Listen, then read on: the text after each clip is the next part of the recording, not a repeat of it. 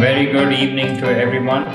So, I am really, really excited to be with you today, this evening. But today, I'm going to be covering some really new material, some very practical uh, information and tips about you know how you can uh, look at machine vision in a in a different perspective, from an implementation and uh, perspective, which aligns with you know. Um, uh, digital transformation as well as you know how you can break down complex things.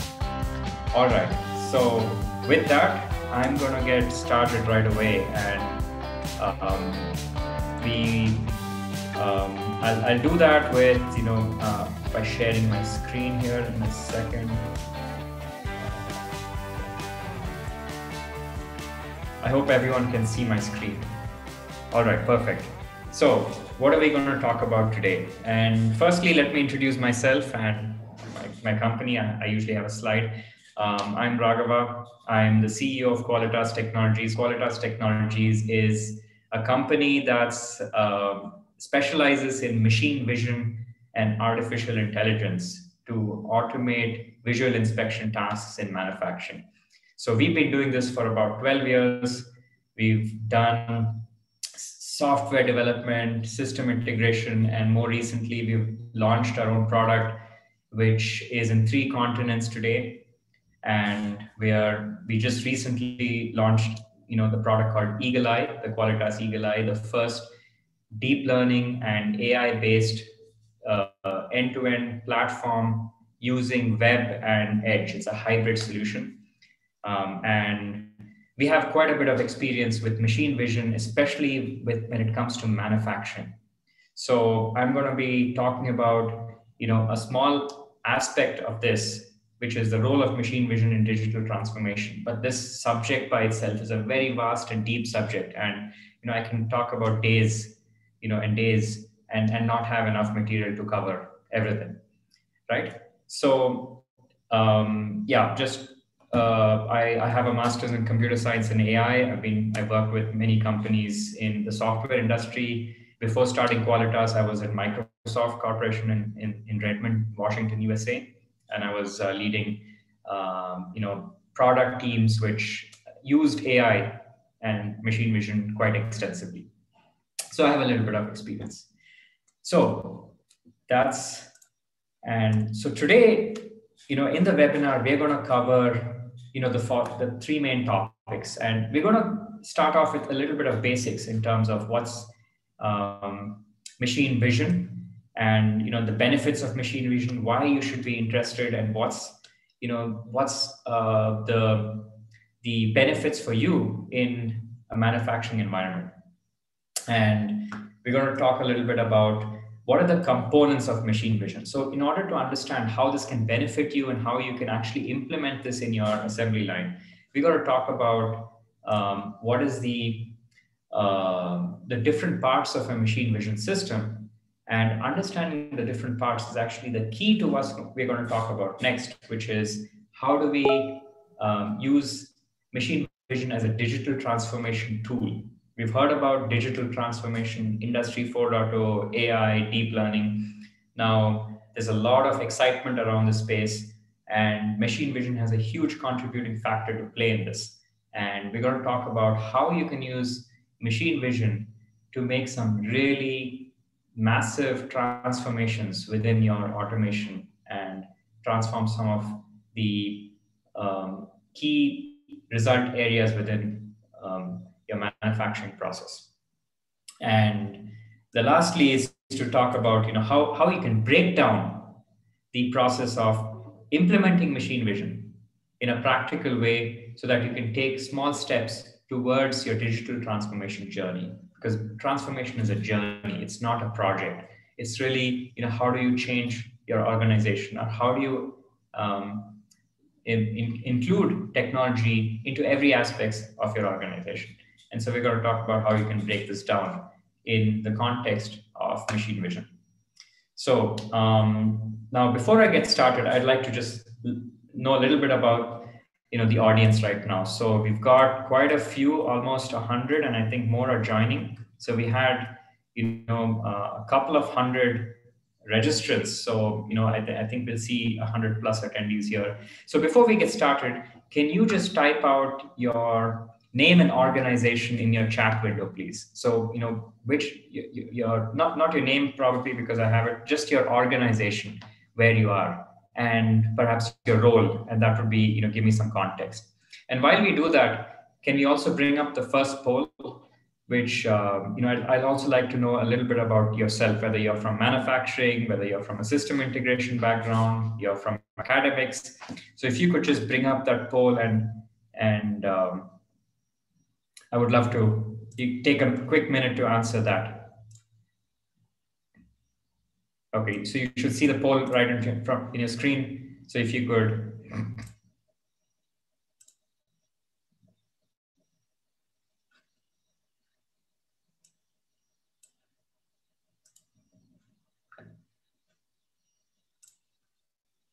Okay, so we have from software, we have battery manufacturing, academics, um, Amazon, there is energy, cements, fantastic. Battery manufacturing, software, Cosmos, that's again. So quite a bit of diversity here. So all across manufacturing, industrial automation, consulting, fantastic. All right. So, you know, the, the poll looks like 40%, a third of you are from manufacturing, more than a third of you, nearly half are from manufacturing. A couple from system integration. Uh, the next is from academia, academics and consultancy, and others. Okay, so quite a few others. So maybe we haven't taken all that. Okay. So we got about 49, 50. All right. Great, great. Okay. So thank you so much. So it looks like there's there's quite a bit of manufacturing in the audience. So I'm just sharing the results so you can see the uh, survey. So I don't know who else is um, you know, as part of the audience. All right. So now, so let's moving on. Now, typical target audiences, as we saw, is manufacturing companies, people from manufacturing. There could be, you know, all kinds of manufacturing, discrete or discrete process, um, and and the interest that people come in from either they're in uh, some interest in digital transformation, process automation, improvements, etc., in manufacturing, and then you have um, the automation providers, and those are the machine builders, system integrators, etc., who, who use technology like machine vision in their uh, solution lines. So today we've seen system integrators, machine builders, providers of automation technologies have huge gained huge competitive advantage. So they've you know uh, taken technologies and really upgraded their offering and st- they've stood out from the competition. And so if, if you're a machine builder, system integrator, thank you for joining. I think you're going to get a, a, massive advantage in using technology like AI and machine vision in your automation. It's not that difficult. It's it'll there's a lot of benefits to it, and it'll help you stand out in within amongst your competition and help you give a lot of value to your customers. So, having said that, I uh, um, that's there's also students and consultants which I see. So before I talk about, you know, what is machine vision or automation, let's look at what is the need for automation. Like one of, there's a lot of metrics that sort of define um, a KPI within a manufacturing uh, uh, company. And one very interesting statistics is the average revenue per employee. So in other words, if you're a company that does 100 crores, and you have 100 people in your organization, that means that average revenue per employee is 1 crore per employee, right? And so why is this metric very important? Is human capital, human labor is actually becoming a premium, right? And so, and it's also not just becoming a premium, it's also becoming um, a scarce commodity. Now, take this pandemic for an example. Now, just getting access to human labor, it's not, you can't just, you know, increase, get um, labor by throwing money at the problem. You know, there's safety issues. The pandemic just prevents us from having and um, having a manual workforce sitting close to each other and doing things, right? Now, there's also the limitations of human um, operators and limitations of human skills in automation. There is, you know, you have to train them, and when you train them, you know, they're they're, they're not designed or they're not um, made for repetitive tasks, right? So there's a lot of uh, you know factors contributing or you know having human uh, operators in your manufacturing line be a limiting factor for your growth. So, and if you look at the industry, manufacturing kind of stands out as the really the last in the list of 10 done by a survey and done by a study actually.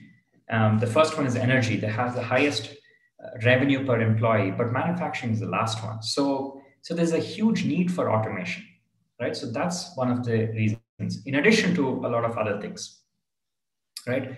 Now, if you look at automation, what are the key areas? What, where is manual labor or manual operators primarily used in manufacturing, right? They're really being used in two different areas. One is they're material handling, they're lifting things, they're using the hands and the legs. You're using them for their motor skills, right? Loading, unloading, machine tending. So you have a CNC machine or you have some kind of a, um, a process that uses a machine. So operating that machine, machine tending, um, and then assembling, putting things together, right? So these are the one aspect of um, using humans in manufacturing in your process, right? Um, I'm not talking about you know the people who are in corporate who are doing design, who are doing sort of you know value added work, but I'm talking about in the production shop floor. The second is inspection, right? There's a huge amount of inspection that's being done by manual. Now it could be a combination. People may be doing both. They may be assembling something and inspecting. So one person could be doing both but it's primarily one of these two tasks, right? So agree or disagree, right? Type it out in your chat window if um, you know what you what you think. Is there any other aspect of um, uh, operator that happens, right?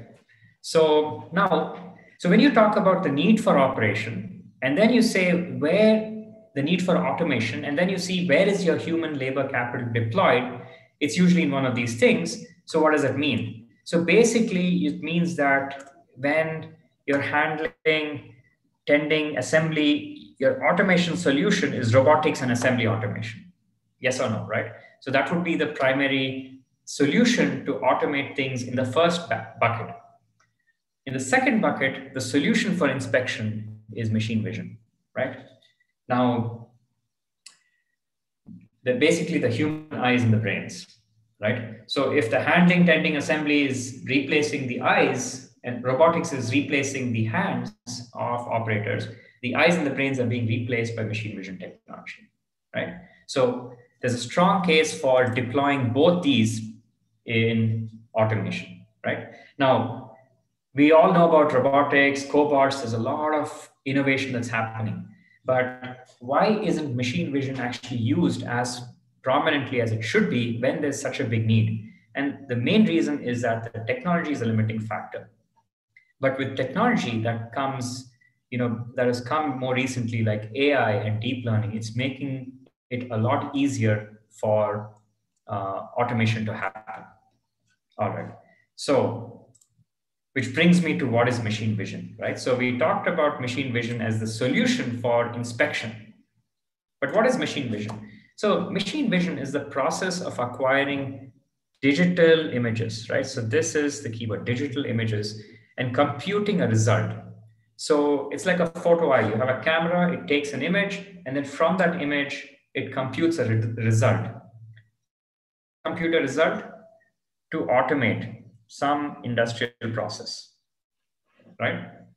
So that is actually machine vision, the definition of machine vision. And so if you are able to automate a process accurately, efficiently, you can you know, replace that inspection operation, which we talked about in the previous slide with this technology. And think about how powerful that can be for you, right? So imagine you've now actually automated a very critical process, increased speed, increased consistency, now removed the need for a very complex operation that's being done by a human, which a human isn't designed for. A human isn't designed for repetitive tasks. You know, it's you you give my six year old, you know, I ask him to do something three times and he's already bored. Right. So imagine having laborers in your assembly line doing things in hundreds and hundreds of times, doing the same thing. It your mind is going to run into fatigue. They're not designed for such operations. You are going to get into fatigue. It's just a matter of time. So it's just a matter of time. If you need to stay competitive, you need to automate, you need to reduce dependence on human people. You need to employ machine vision in your assembly line. It's just a matter of time, right? So are you going to do it today or you do it tomorrow? You have to do it. And the sooner you do it, the more competitive you're going to be, right?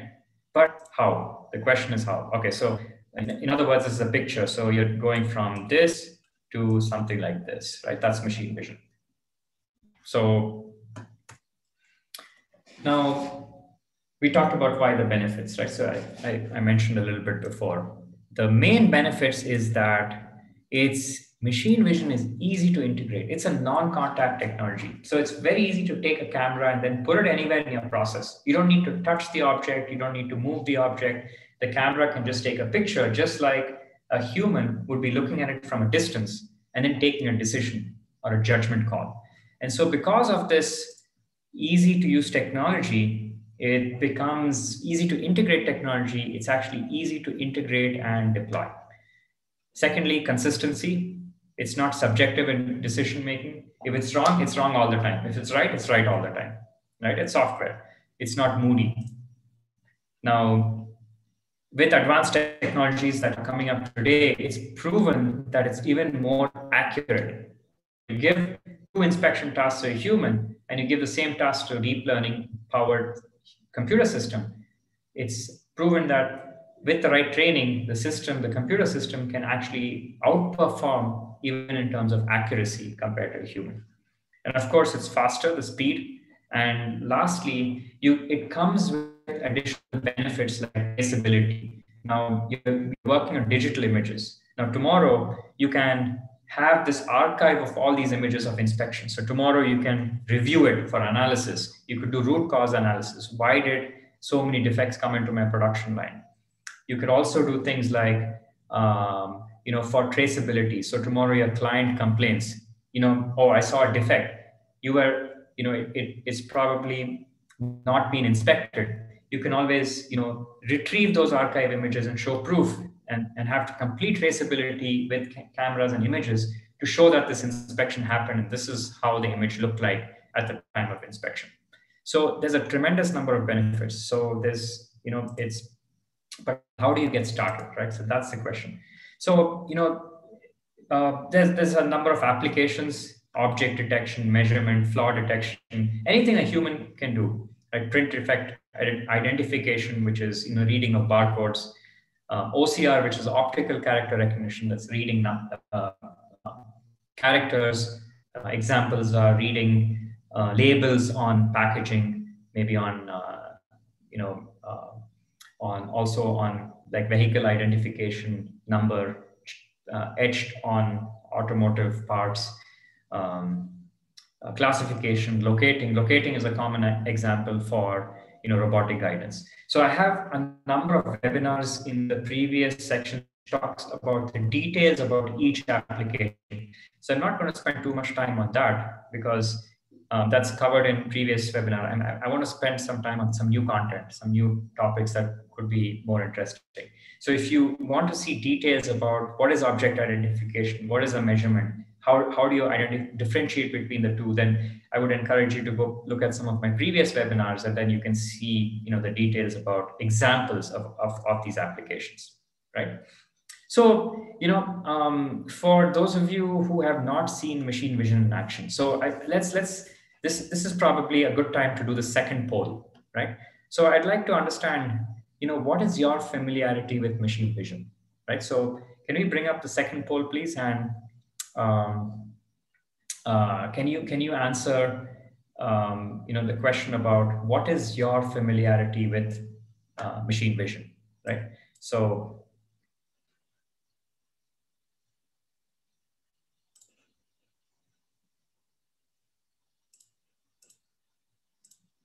let's bring up the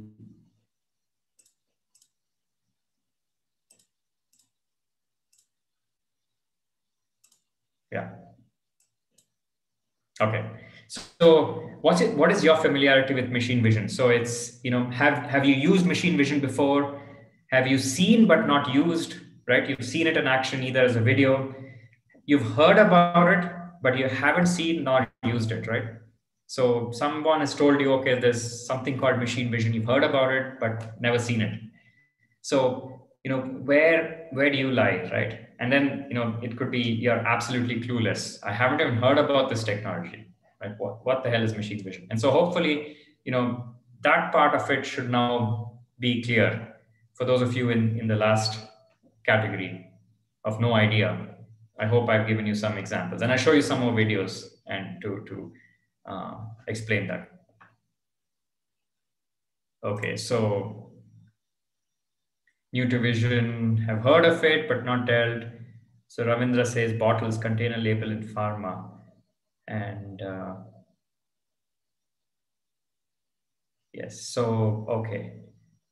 All right, let me end this and then share results. So if you are curious what it is, yes, have used. So the majority of you have actually used machine vision. So about 19, uh, uh, more than a third of you who, were, who have answered. So um, okay, that's that's really cool. That's exciting to hear. So uh, we, we're going to have an interesting conversation um, about this.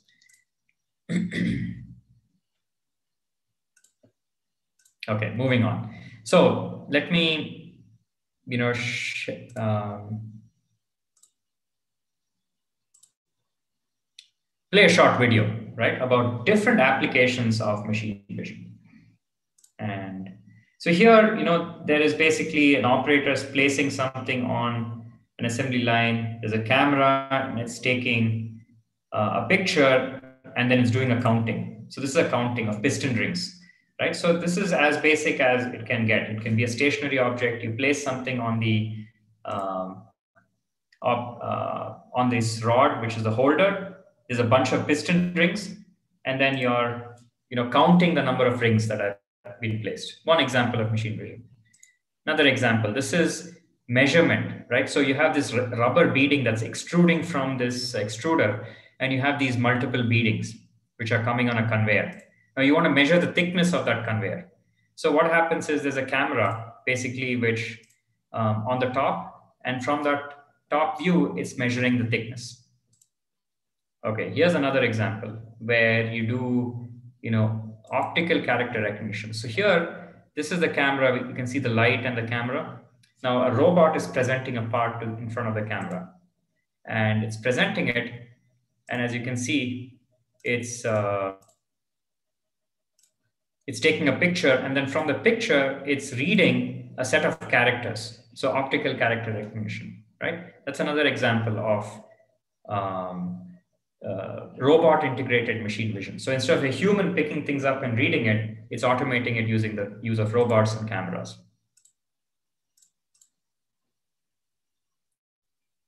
okay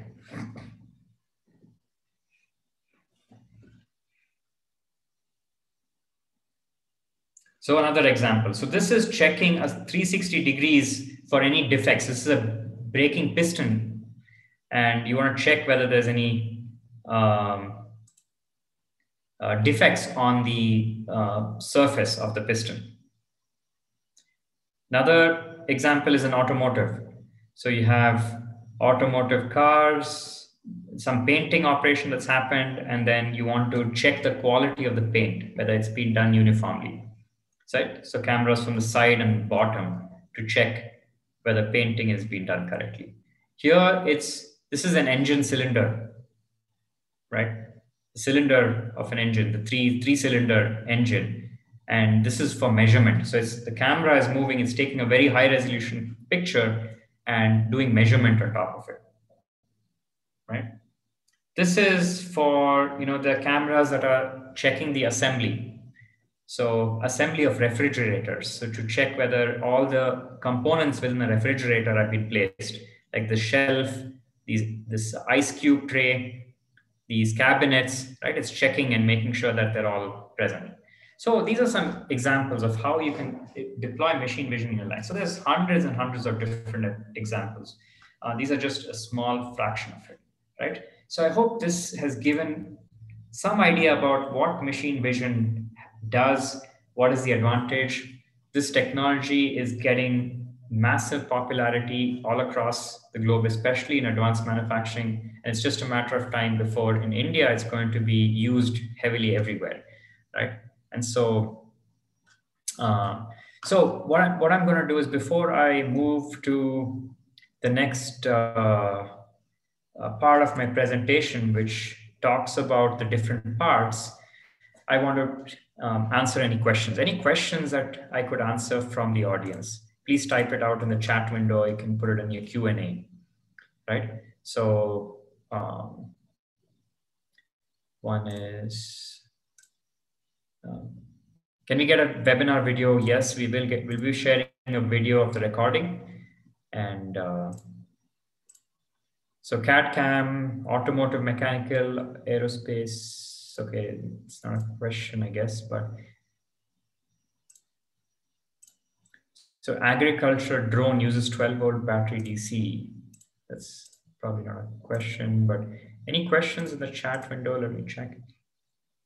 What is the difference between computer vision and machine vision? Okay, so um, good question. So com computer, they're, they're, they're the same. It's a term terminology difference, right? So with uh, computer vision is more the um, it's used in terminology of academics and research. That's how computer vision got formed.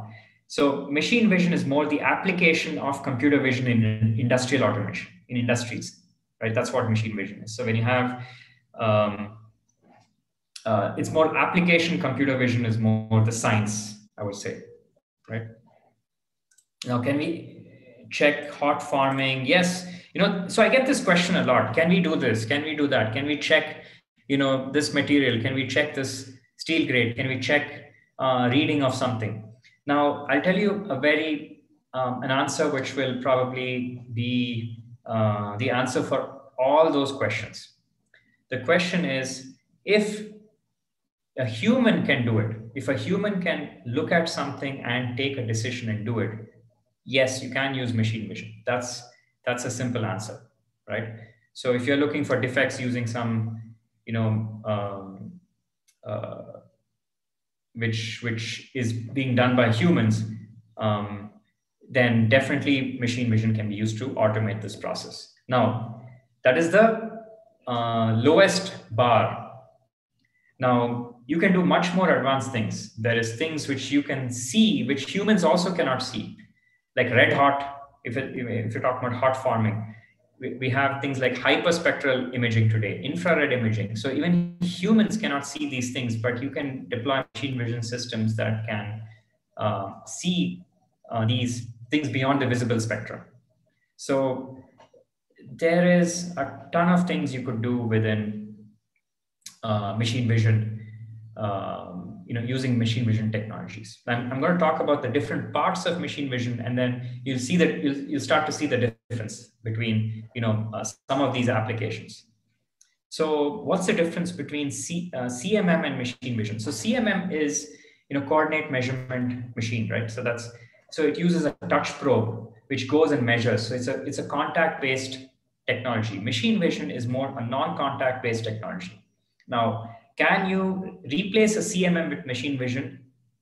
Not really, right? You have some, um, what do you call, um, measurement systems using cameras, but uh, they're not as accurate as these probe-based systems, right? So um, they're two different things.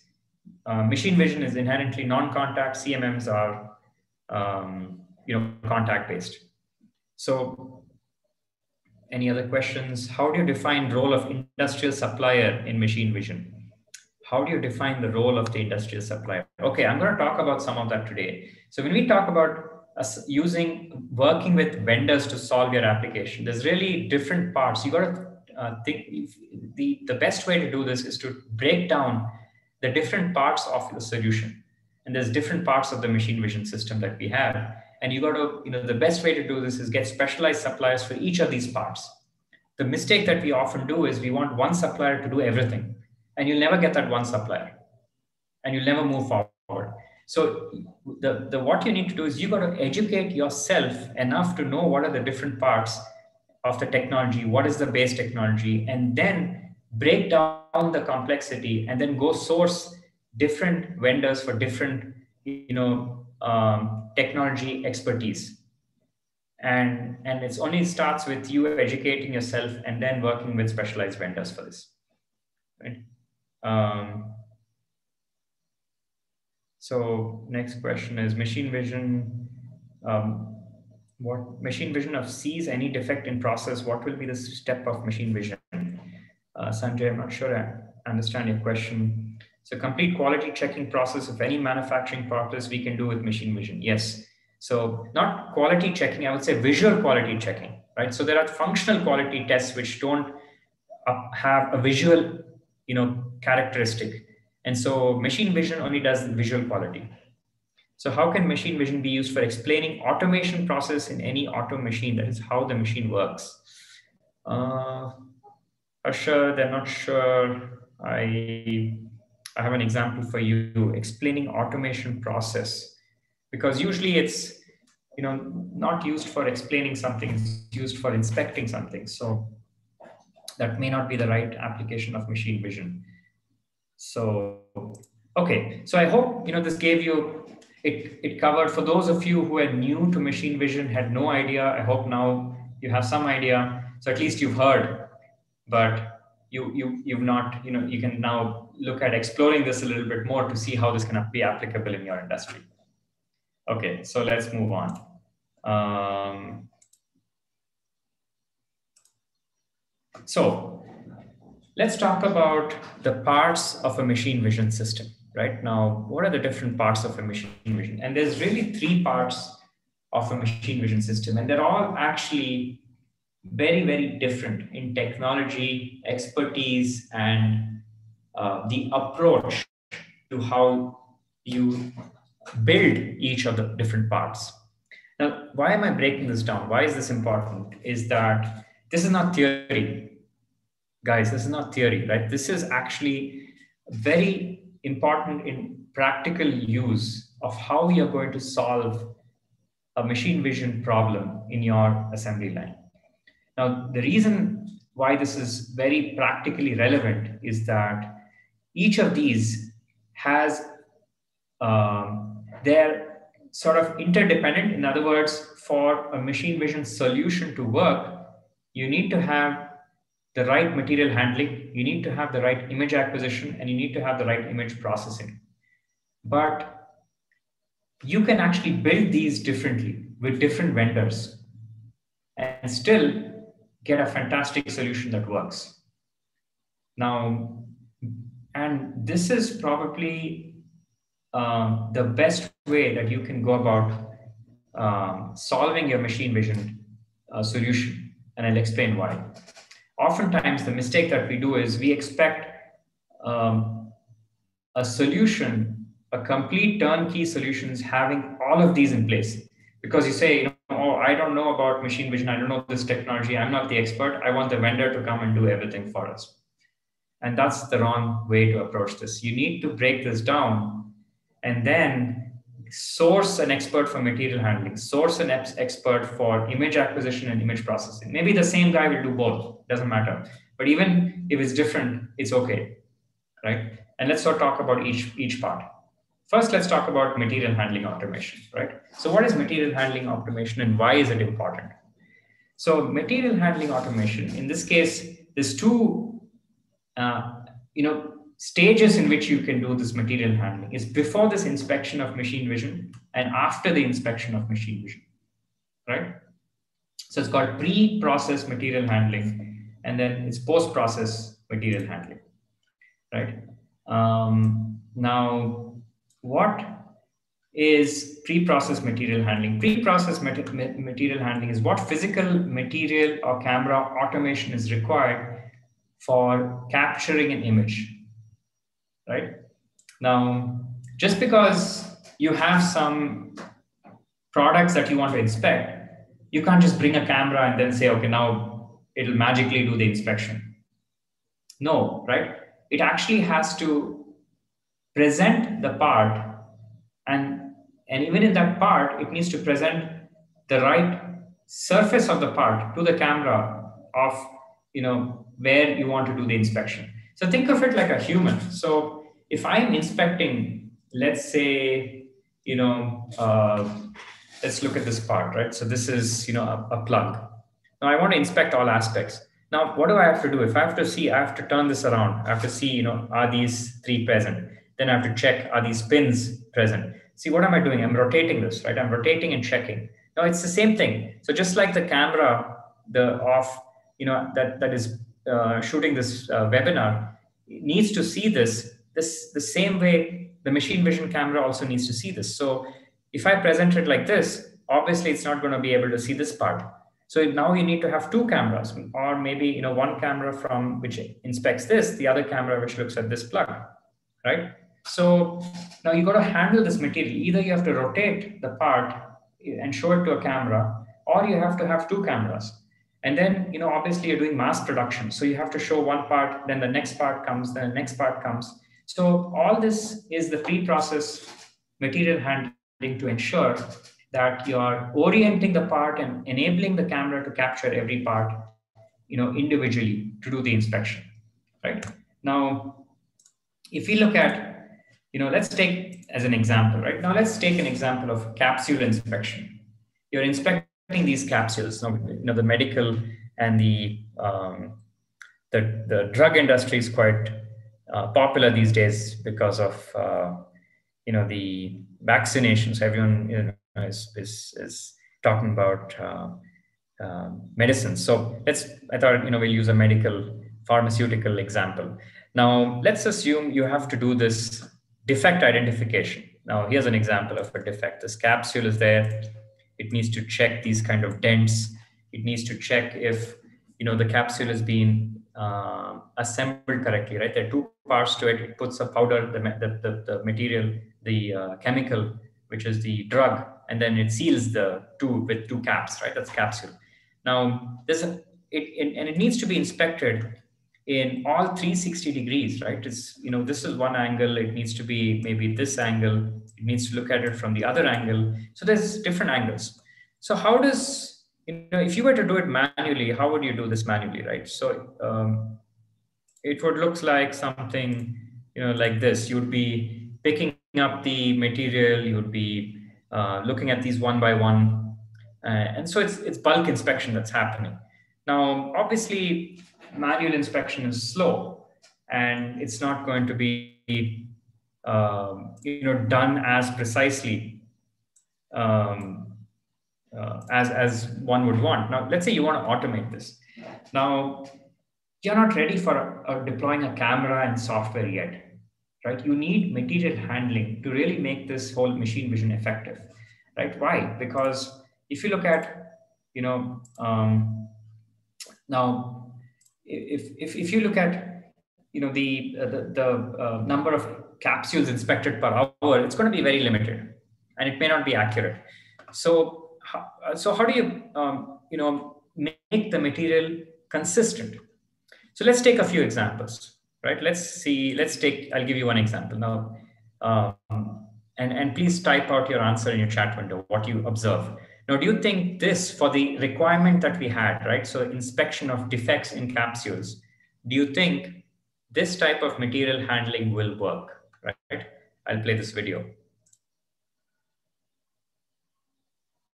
Right, so there is material handling. It's pushing the capsules, you know, and it's exposing this tip, right? It's exposing this tip here.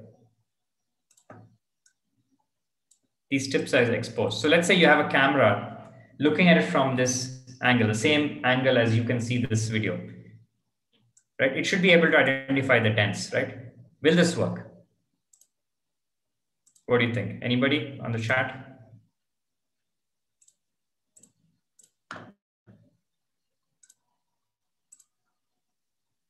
It'll damage the cap, okay? Um, yeah, one aspect of it could be uh, damaging the cap, but let's assume it's it's it's not going to damage the cap, but it'll will it will will it handle my requirements? Is this sufficient?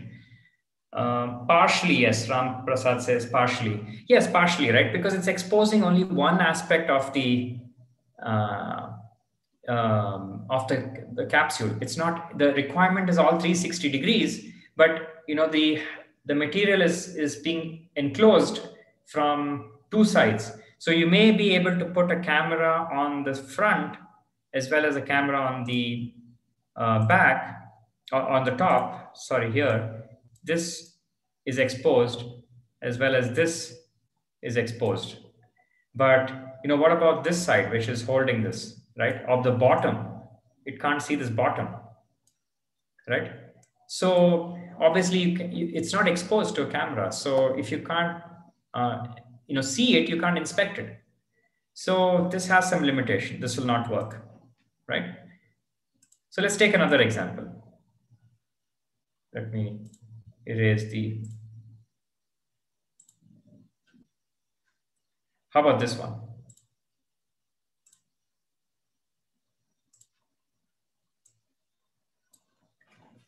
What do you think about this? You think this will work?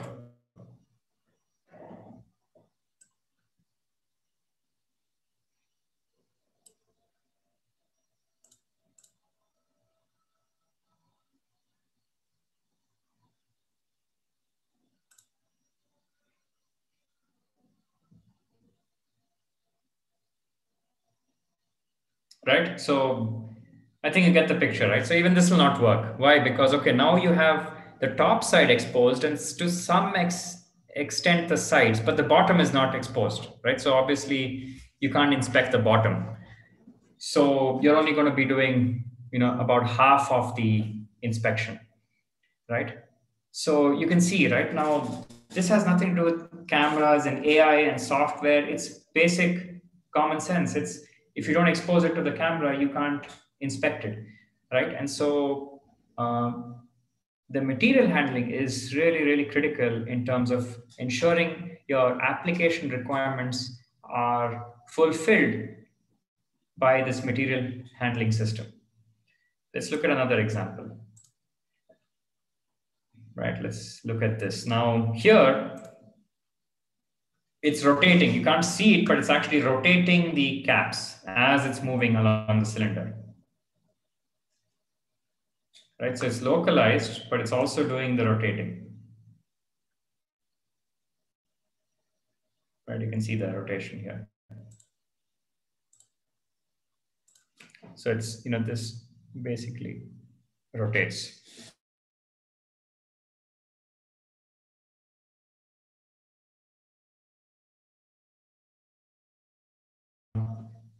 I think we had a, are you guys still with me? Hello?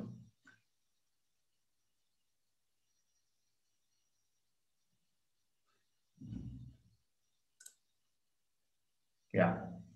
So sorry, we had a small network. Okay. So glad you can hear me. I'm just going to temporarily stop the video and continue. It's going to take a minute for the video to come back on. So here, um, so as you can see, the you could you could tell that uh, the material handling in this particular case, you know, works, right? And why does that work? it's because you're exposing all the aspects of all 360 degree aspects of the uh, surface, right? And it's again common sense. So the material handling is actually a very, very critical component to the um, uh, the first step of machine vision. So play that again and you know how to do that. So you know, let's the requirement was you have um, is is you have a 360 degree inspection where you're looking at it from the side, you're looking at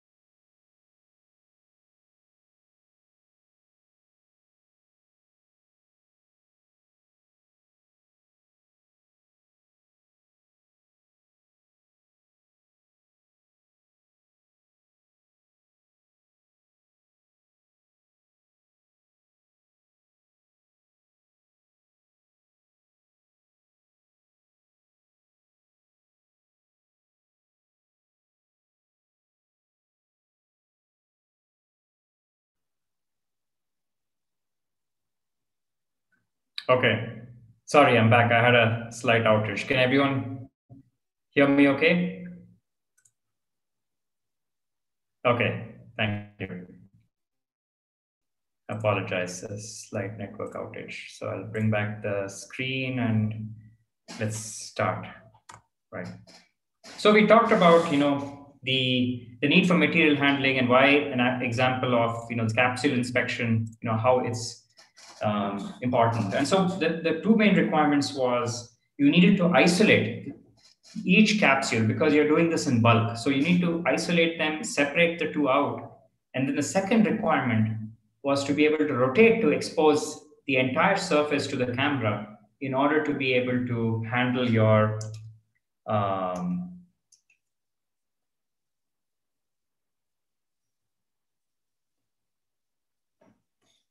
okay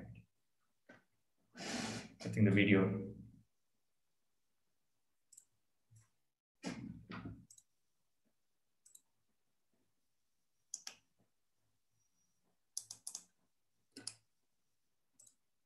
Yeah. So in order to be able to handle the um, surface inspection.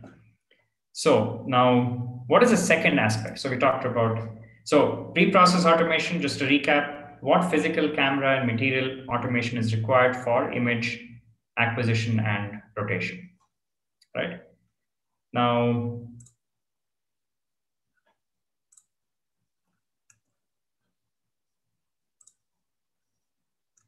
let me share the screen again.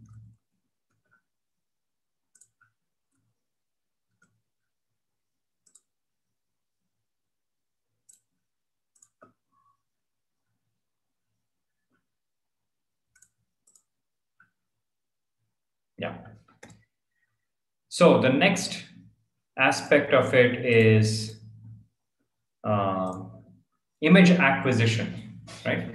Now, once you've localized is you, you need to be able to capture the image to be able to identify, um, you know, image, right? Without the uh, image itself, you can't do any processing on it. Now, so what are the different components of image acquisition? And there's three main, four main components: the trigger, the camera, the optics, and the illumination. Now, again, these are some. Um, I've covered these in detail with my previous webinar, and you know, uh, I'm not going to go into this right now, but let's talk about these in maybe at a high level, right? So um, the first is about the trigger mechanism, which is nothing but what is the mechanism that signals the camera to acquire an image. So let's go back to the capsule ex example. So let's say you have a camera that's looking at it from the top as the capsule moves to the side, right? Now, so as soon as the camera comes in front of the, the uh, capsule comes in front of the camera, you need to signal to the camera to take an image. And that's a trigger, right? So there's either a PLC or a sensor or some kind of, you know, signal that takes the picture. And, uh, and that's really the trigger mechanism. So, you know, just look at a few examples, the previous example of examples, uh, the videos that I had. Here, you know, there's a manual trigger. So there's a guy who's pressing the button, right? and taking that picture. And here there's a conveyor. And here you're actually using um, an encoder. And here the robot presents it to the camera, and then the robot controller is giving a trigger to the camera. It's like a PLC trigger, the robot controller.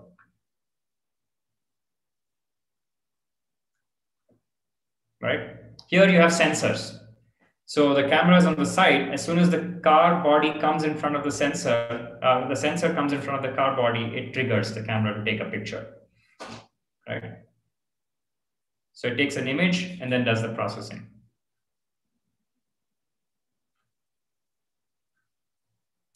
Here you have a linear encoder. So as it's moving, it's taking, it's triggering the camera to take every line. So it stitches the lines. It's called a line scan image acquisition.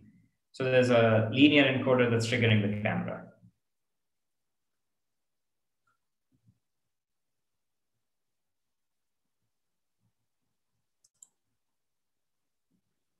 And in this particular example, you have a photoelectric sensor that's triggering when the body of the refrigerator comes in front of the camera as well, right? So there's different trigger mechanisms, you know, you saw from manual to encoders to sensors. So that's, you know, simple electronics, not too, you know, challenging. Uh, uh, but that's the first aspect of image acquisition. You have to do the signal, that's the trigger. And then there's a camera. Now, even in the camera, there's a number of different aspects of camera to select the right camera for image acquisition. You have the camera type, in terms of you know what is the image format? 2d 3d and then you have the uh, image acquisition type which is area scan versus line scan. So again all these i'm going to be doing a separate webinar on. In fact the next webinar i'm going to be doing is image acquisition fundamentals.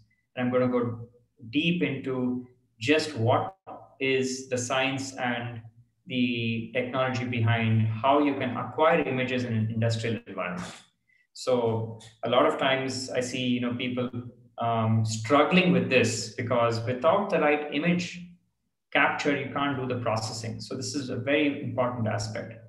And I'm going to be doing a separate webinar on this. So stay tuned and sign up for that. You'll, you'll see um, you know, uh, some information about it uh, coming in your emails. Okay.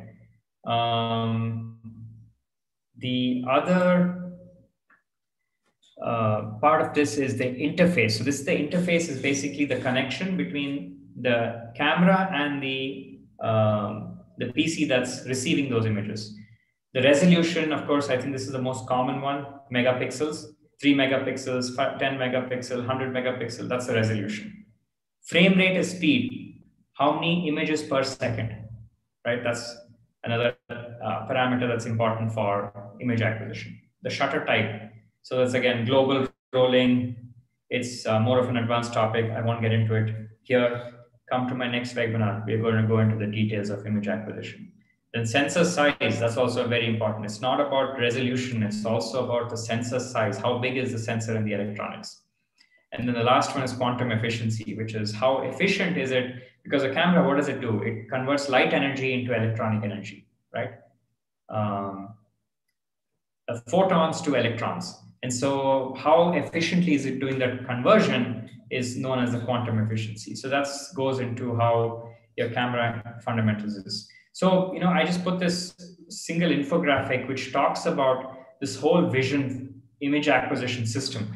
You know, you have on one hand, you have, you know, this automation, which we talked about. Uh,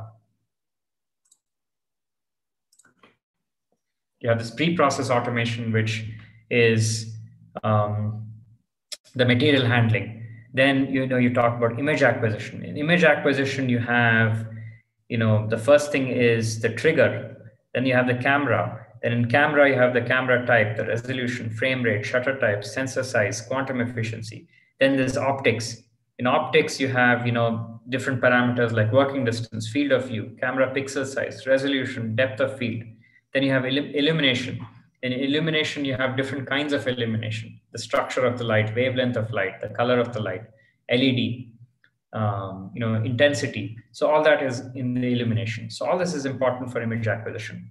And then you go into image processing, which is once you've acquired the image, what is the uh, the approach to actually solving um, the uh, image acquisition system, and that's you know heuristics and AI-based algorithms. So so this is like a a, single you know um, what do you call infographic about the different parts of a machine vision system. So if if you want this, please send an email, um, you know, replying to the um, the email invite that you got, and we'll be happy to send this to you. So it's a good reference which you can just look at. So when you're designing these systems, it gives you like a reference guide to say, okay, which part of it have I considered or not considered, right? So send us an email, and we can send you this infographic uh, to your email, right? So I covered quite a bit. So I'm going to stop here for another small break and answer questions. So any questions, please type it out into our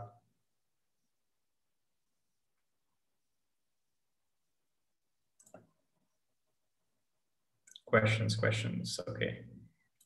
Um, let's see. I think there were some questions, but since I had um, a network outage, I've lost those. But if you could type this out again. So what is the different types of hardware and software requirement for machine vision systems? So Pankaj is asking different types of hardware and software requirement. Now, so as I said, Pankaj, there are different parts of a machine vision system, right? So here, you know, this, this slide in front of you. So when you talk about hardware, there's really two aspects of the hardware, which is the material handling, which is the automation. So that's a different set of hardware requirements. And then there's the image acquisition, right? In the image acquisition, you have, as I told you, the camera, the optics, the illumination, all that is your hardware. And then you have image processing. In image processing, you have again have two parts to it. You have the PC or the computer. So the image processing hardware and the image processing software, right? So again, the different types of uh, hardware and image processing is you can have you know PC-based systems, embedded systems, and then in the software you could have machine learning based and rule based. Right? Um, is a determination, Krishna Chaitanya, is a determination of combination required for a good system for a particular application done by trial and error, or is there a sequential logic? Okay, great question, right? So so when you design systems, is it actually done by trial and error, or is it done by some uh, specific design? So um, Krishna, that's an excellent question. Now, I would say there's two parts to this. There is the, um, you know, when, when you talk about three, I remember I talked about the three different parts. Let me go back to that slide. Uh, this is a really good question. I want to spend some time on this. Um, let me go back to the part where I talked about the different parts of a machine vision system.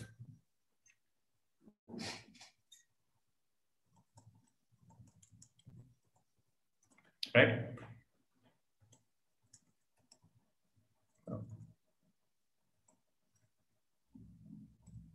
Yeah, this one.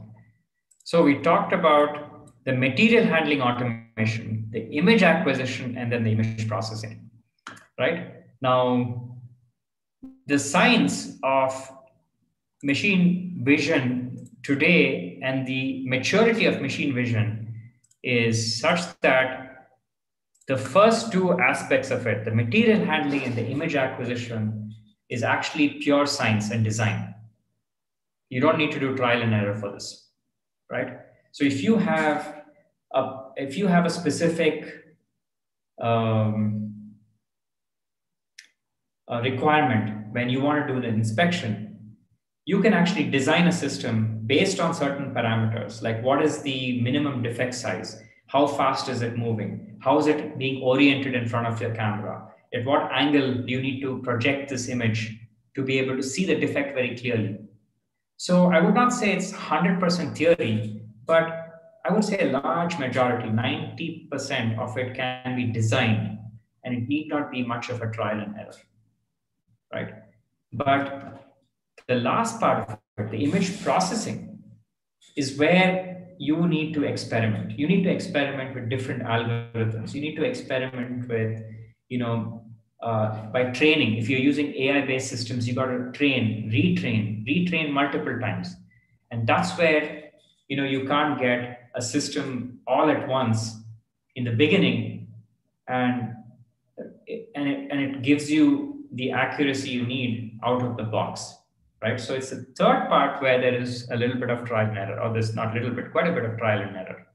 But in the first two aspects of it, the uh, the design, a well-designed system should be able to take care of 90% of your requirements, right?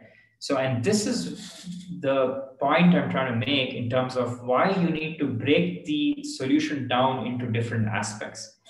Because we sometimes, because we don't understand the different parts, we just come, we look at it as a whole black box, as a complete turnkey. And we say, yeah, I just want the system. Now, because of the image processing, there is some element of trial and you're not seeing the results. And then you're, you know, you're looking at, oh, this whole machine vision doesn't work. You're seeing this failure, right? But if you break it down and you get your material handling right, you get your image acquisition right, 70% of your problem is solved. It's just the image processing where you need to do some kind of a, uh, a trial and error, right? So, um, so that doesn't mean your entire system doesn't work right? So that's how you need to be thinking about it. So it's a good question. Thanks, Chaitanya. Great, Krishna. So what, what else? Uh, before we go into image processing, which is a third part of any other questions. Um, how can we collect data from PLC and save to SQL database? Okay, so this is not exactly a machine vision system, but um, yeah, this is more, you know, PLC today, it's a communication standard. Like you have many uh, communication standards. Uh, OPC is a very common one, um, which is open. I think it's called Open Process Communication. If I'm not OPC UA, right? Um, you have various industrial communication, Profinet, Modbus, depending on which what the PLC is, and then from there, your PC software can communicate with the PLC, retrieve that information, and save it to a SQL database, right? So it's it comes to more in terms of uh, PLC and control systems programming, not quite related to machine vision, but that's you know how you would uh, save that. Now, Rajaya Rajaya Dayev asks, uh, verbally asks, does it find any crack sizes and depth of the crack also for casting and machining applications? Uh, yes, you can use machine vision for this. Absolutely. So this is common application of machine vision. Okay. Um, so Praveen is asking, uh, is quantum efficiency and baud rate the same parameter? Praveen, no, quantum efficiency and baud rate are different. Baud rate is the speed at which it transfers data from the camera to the frame grabber, which is the PC. It's how fast is it transmission. Quantum efficiency is how efficiently is it converting light information to electronic information. So it's the energy conversion because camera, what does it do? It it sensors. There, there's photosensors, right? So it's a CMOS sensor. So it takes light that hits the photoelectric sensors and it takes that light energy is then converted to pixel energy, a pixel information, which is electronic information. So there are two different things. Now, has there been any instances where, where machine vision with deep learning has resulted over a period of time, resulted improving the area of application, as in the system learns and starts giving suggestions to improve the process itself? Um, yeah, so that's, you know, um, with deep learning, um, I would say, you know, there's really three sort of levels of uh, advanced AI. One is, you know, the detection of defects, right? It's a detection of defects. The second one is, uh, so you have a defect, you use AI and deep learning, and you detect that it's happened. The second is being able to um, predict the defect from happening, right? So before it actually happens, is to be able to predict that it's going to happen based on certain information that it comes. I would say in practical scenarios, today's deep learning applications aren't really mature enough to predict defects. It can identify it, but it can't actually predict it from happening using, I'm talking machine vision. But there are other deep learning aspects using sound information and sensor information, right? Time series data, sensor information, which can predict machine breakdown, which is in predictive maintenance. So that's also very um, emerging technology, but um, machine vision today in its maturity is not, I would say, advanced enough to be able to predict these defects which it's catching today. And Shivaraman, Dr. Shiv, for MSMEs, the cost of implementation is a factor. Is there any cloud-based technology available? Um, yeah, well, uh, you know, like our, our product, for instance, is using cloud heavily to for training. So we use a, a hybrid approach. So with AI and deep learning, training and training hardware is very expensive, as you rightly said. So we use the cloud. So we only use it when you need to train instead of buying expensive system, keeping it in your uh, premises for you know maybe being used 10% of the time. So it's not just for MS, MSMEs, Dr. Shivaraman, it's also for advanced, you know, in fact, the larger the company, the more sensitive they are to cost. So, you know, because they do it at scale. So a small percentage cost reduction results in massive savings across. So cost is always a factor. So we try to do things very cost effectively, right? Okay, so I'll take one more question and we can move on. Can machine vision be used in detecting sheet metal panel dents or defects used in car panels? Yes, of course, it can be. But again, here, think about material handling, right? So when you talk about complex car bodies, you know you have you need to ensure how can you acquire images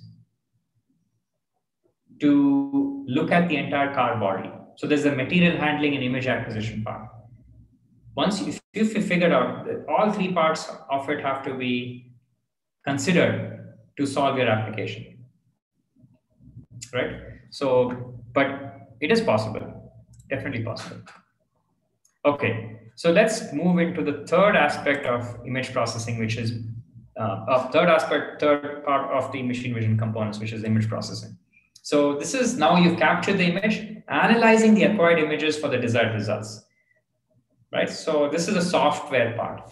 Now here there's two parts of image processing. There's the hardware and the software. So, you know, the computational hardware and the image processing software. Now in computational hardware, there's two types. There's PC, external PCs. So in other words, here you have cameras which are just taking images and then transferring the, the images to the PC, and the software on the PC is doing the processing. So it's called PC-based systems. And then there's embedded or smart camera-based systems, which it's the camera and the um, processing unit is combined, right? And uh, so, you know, there's uh, pros and cons for everything.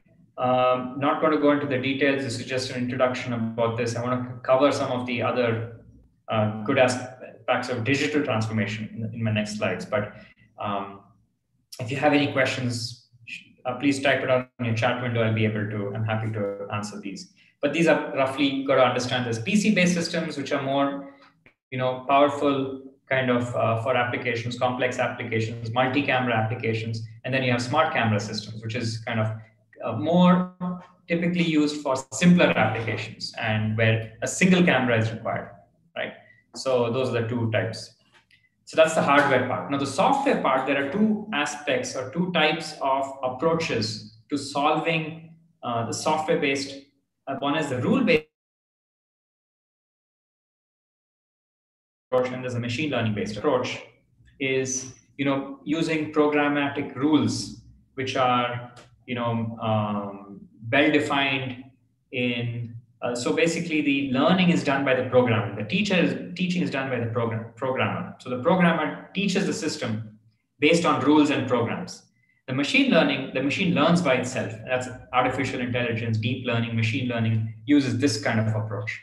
Again, not going to go into details. There's a webinar, a very detailed webinar that we talk about, you know, deep learning based machine vision systems. So do check that out. Uh, you can go to our website or our YouTube channel there's a bunch of videos, at least, you know, plus videos on, on all of these topics. So you can go into the details about this. But basically two software approaches to how you can teach your system to program or to program your system to inspect or to predict um, defects or any kind of do the analysis on images that you've acquired. Okay, so we covered the three main aspects of it, right? So the three main aspects, just to recap, material handling, making sure that you're consistently moving material in front of the camera. There's capturing the images, which is image acquisition, right? So for that, we talked about, you know, using the right camera, optics, light, lenses, you know, all that is goes into the image acquisition. And then the last part is software, which is image processing, right? So now um, now let's talk about you know how do we put all this together and how do we actually um, begin your journey into automating a machine vision task, right? So this is where you know this digital transformation comes in. Now, now we've if if I'm sure in your organization you've done a lot of digital transformation programs, right? But I'm sure it all starts with your IT department, right? You must have heard your in the CIO office or the IT department is doing this digital transformation program using your MES systems, your ERP systems. And the main reason why it starts there is that you already have digital data, right? So you already have a lot of digitized information present in your MES systems or your quality management system or your ERP systems. And you're looking at how do we then use technologies like AI, etc., to transform or to gain some valuable insights or to automate something in your assembly line or in, in your production uh, uh, organization.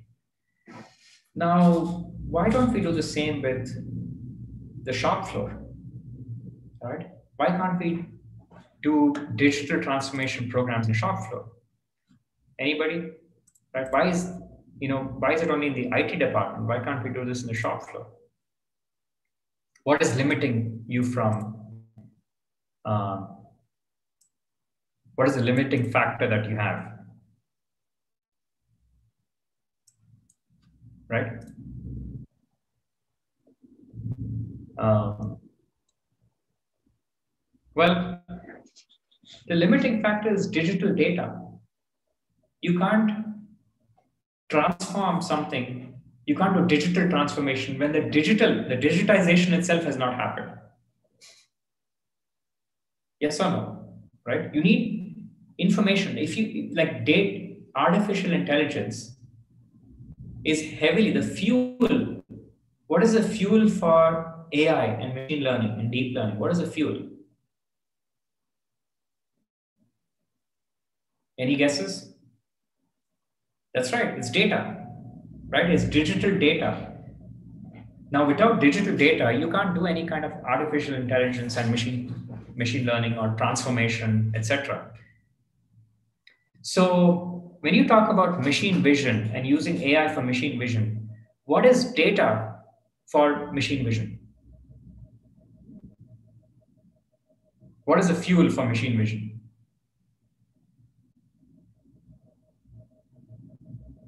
Anyone? That's right, Pankaj. It's images, right? The fuel for machine vision and AI is images. Now, now a lot of times, if you go buy a car, you know, an automotive enthusiast. Now, if you have to manufacture a special fuel and build a car and give you a solution which from one supplier that gives you fuel as well as a car i mean you're you're never going to build the perfect car right? So they're because they're, they're actually two different expertise technologies and steps.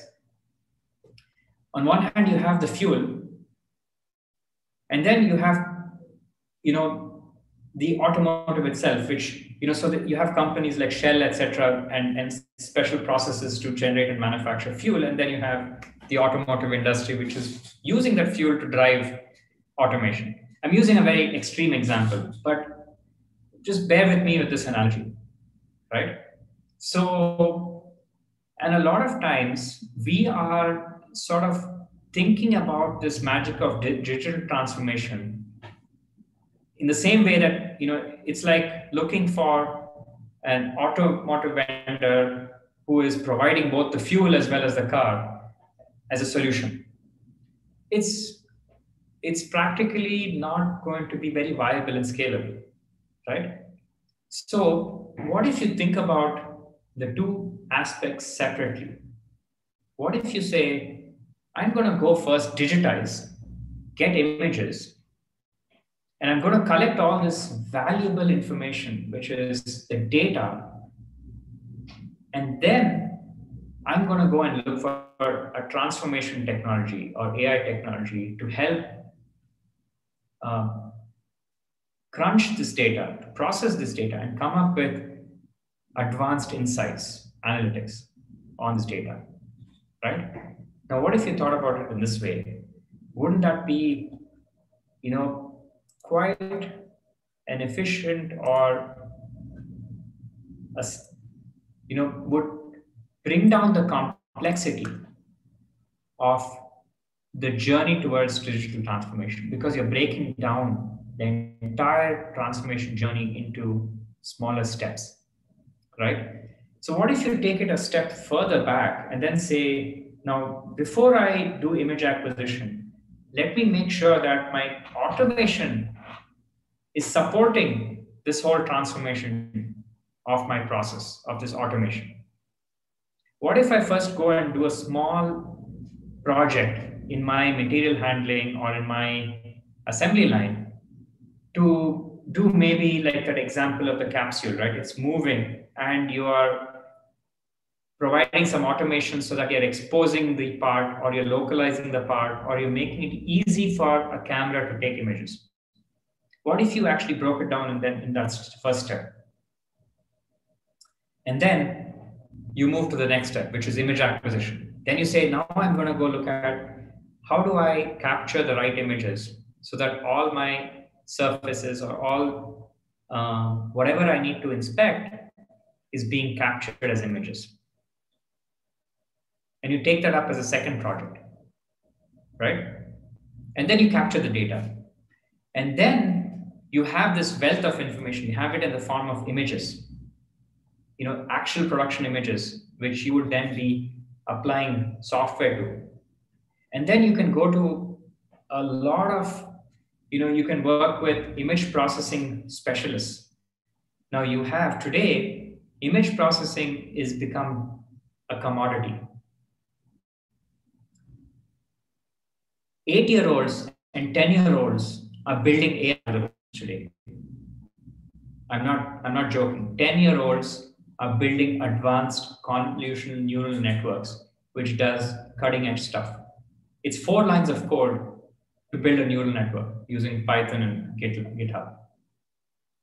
The technology is just transforming itself. In fact, you don't even need to know coding to do AI. When you have such powerful and simple technology, right? Why are we not using it to our advantage? It's because we think of this entire solution as one. And we say, you know, oh, I want this one guy to do this pre-process automation. I want this image acquisition. I want this image processing. I want this black box solution. Well, when you have eight year olds doing image processing, it's so simple. Now, he has to, if you want a solution from him, you need a guy who knows image acquisition, you need material handling, robotics, and image processing. This all in one skill set from one single vendor. Well, not going to happen, right? Or it's going to be very expensive. Instead, if you go to a, pre-process or material handling guy, there's a ton of low-cost automation providers today. And you can say, go build me this mechanism that just separates out this part for me. So, you know, a camera can easily take a picture. Now, you're going to get tens of um, low-cost automation providers who can do that simple aspect. Now, if you ask him, okay, go to build an AI algorithm, he's gonna, you know, he's gonna get a heart attack.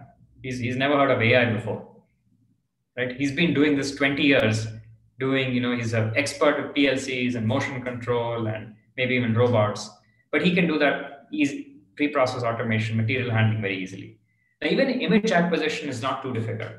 You can get, uh, you know, if you educate yourself about what are the different camera types, you can just go make a small uh, prototype of ha- having cameras installed and you know to be able to capture. And you can also get suppliers who are experts with who can help you with only image acquisition, right?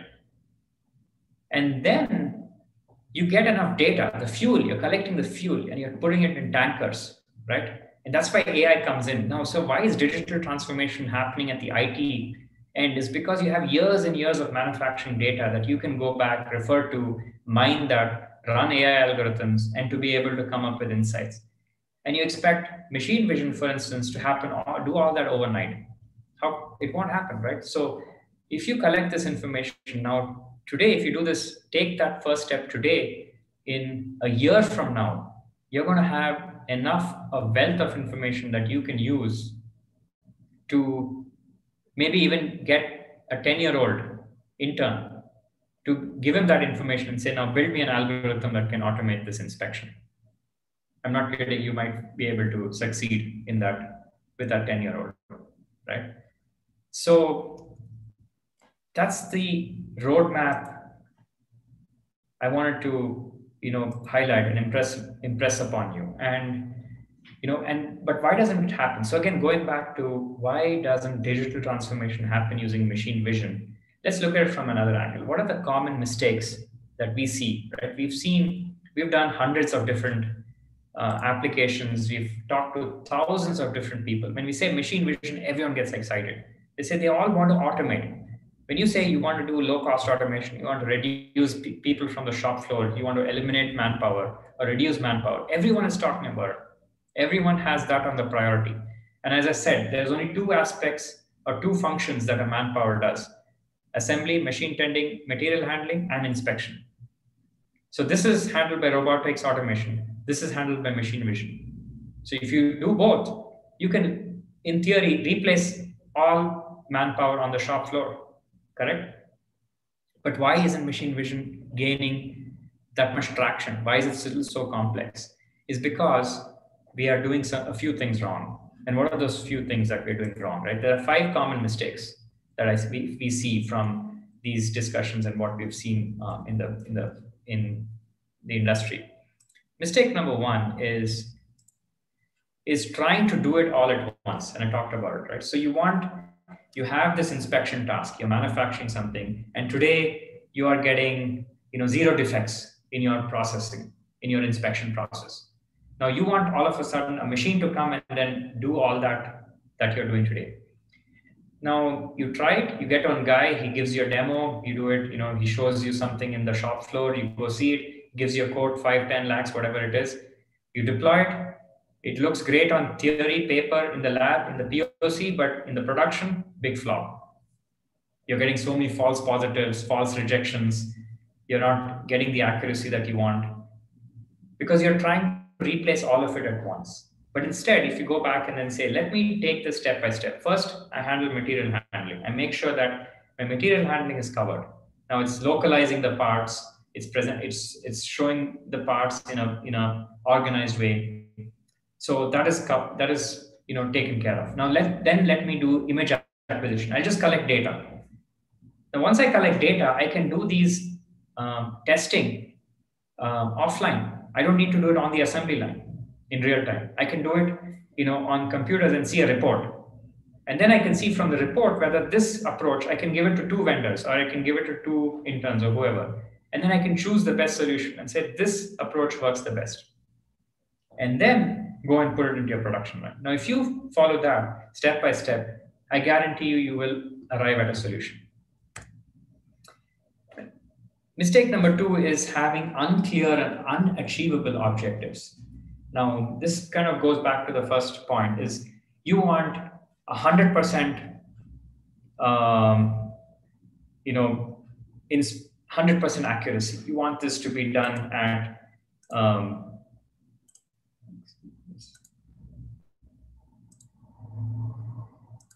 just remove the pointer. Oh.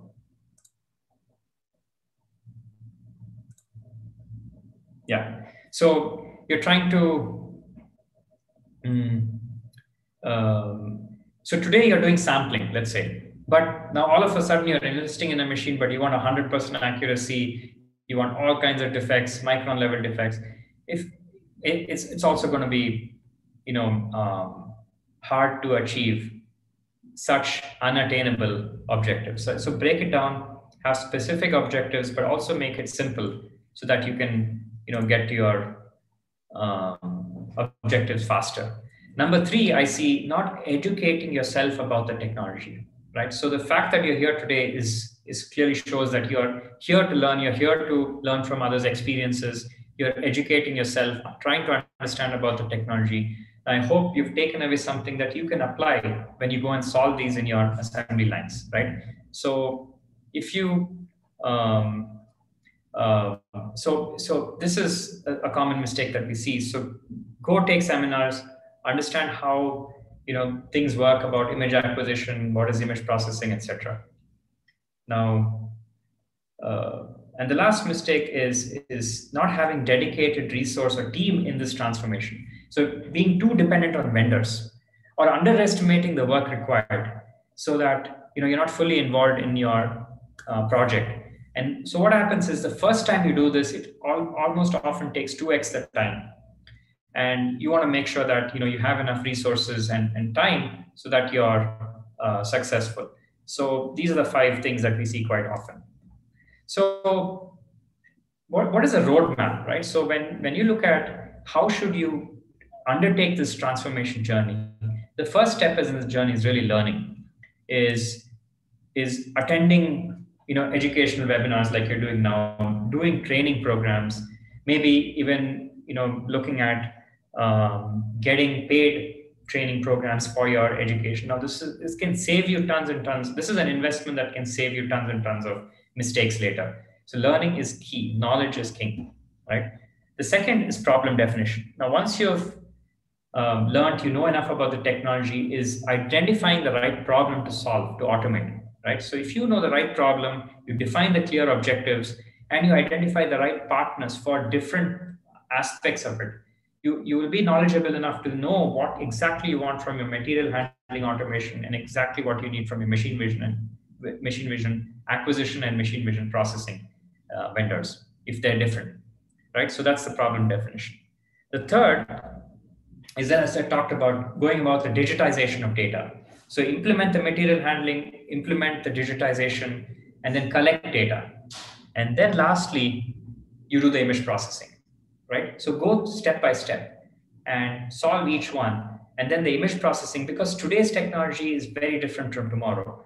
The first material handling, all that, you know, is probably five years old, is still latest, is still cutting edge. But when it comes to image processing, it's changing every month, every week is changing. The algorithms, the technology, when it comes to AI and deep learning, we, we are in this field and we, we wake up and overnight technology has changed. So you, you want to separate this out, collect your data, and tomorrow's technology, the investments you've made in the first three of digitization, image acquisition will pay off because you can easily replace technology. It will never be outdated, the software technology that is. But your image acquisition will never get outdated because that stuff you know is is less dynamic. And lastly then you can do full automation. Then you integrate it with your image acquisition system. You uh, integrate it with rejection system whatever else you want to do. And then you can do root cause analysis you know post process uh, analysis things like that. So here's the roadmap that you know i would say works quite uh, well. We've seen this working with large enterprises. We're working with you know um, uh, companies in Europe following this prescription, and that's how they've been uh, undertaking the journey. And it's just that in India, it's just gaining traction, and people are still learning the way the transformative roadmap of how they should go about their machine vision uh, projects. So, in summary, what we covered a lot of material. We covered a lot of material. So let me summarize this real quick, right? So automation is key to our competitiveness. So we talked about why we need to automate to stay competitive. There are two things to automate material handling, assembly, and inspection and using machine vision. We talked about the parts of a machine vision. The material handling, digitization, which is image acquisition, then decision making, which is image processing. We talked about the five common mistakes.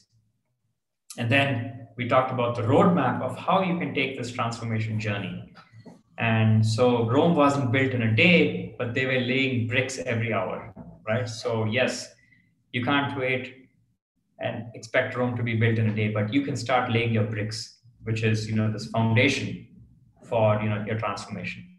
And then break down the journey and see success in the end, right? So, you're, you're going to be doing this things which may not see success, but you will see progress. So, it's not about success, it's about progress. All right. So in that note, I'm very excited to be sharing with you also the launch of Qualitas Academy. So we have seen a number of requests coming in from customers in educating themselves about what is machine vision. You know, webinars like these free webinars we do quite a bit, but then you know um, we've, we've been asked to do paid engagements to go a little bit deeper into some of these topics, and we're very happy to launch this as a formal program as Qualitas Academy. And you know, the syllabus mainly covers a number of things. It covers machine vision fundamentals, right? Basics of machine vision, image acquisition. Some of this I talked about today, but we go very de- in depth into all those different aspects, all the way to what is deep learning, what is AI, what's the difference, how do you, you know, uh, go about an AI, uh, take t- take up an AI application. We talk about material handling.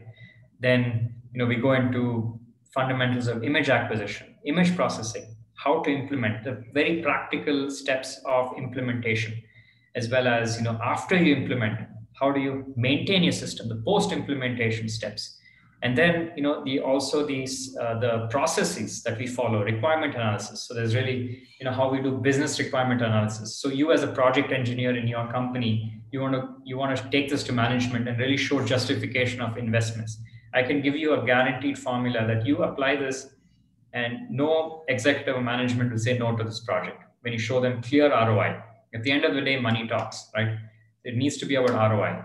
So we have this framework that we've used, which can you know break down your um, ROI in terms of the investments. And then also, you know, how do you define specifications so that you can clearly, unambiguously communicate to vendors about what you want, right? And in terms of training objectives that we cover, it's the basics is to gain introduction to the technology and then to be able to identify applicability of machine vision. So you need to know enough to say that, okay, this problem can be solved with machine vision or not. Then we go into concepts, the concepts of technology choices. What is line scan cameras? What is area scan cameras? What is 3D? When is when do you use 3D versus uh, 2D? Then how do you define requirements? So create sound and relevant requirement specifications. And then how do you evaluate not just the technology, but how do you evaluate vendors? Right? And then how do you define ROI for success? So those are the training objectives that you would get out of it. And so with this, I'd like to end my webinar. I would like to thank you for uh, listening, spending your valuable evening. I hope you took away um, something of value that you learned from, which you can go and apply. If you're interested in the Qualitas Academy, what we have to offer, I'd be very interested in um, talking to you about your organization. We do like a three-day webinar is what we've launched, but we're also looking at specialized modules in AI and 3D especially. And we'd be very excited to be working with you if you have this uh, requirement from, from your side. So, uh, so with this, I'd like to wrap up the formal agenda and also, you know, do um, let your colleagues and others know about Qualitas Academy. We're, we're really looking forward to spreading this knowledge about machine vision and seeing how you can benefit from this great technology. And learning is key. Thank you. Thanks, everyone.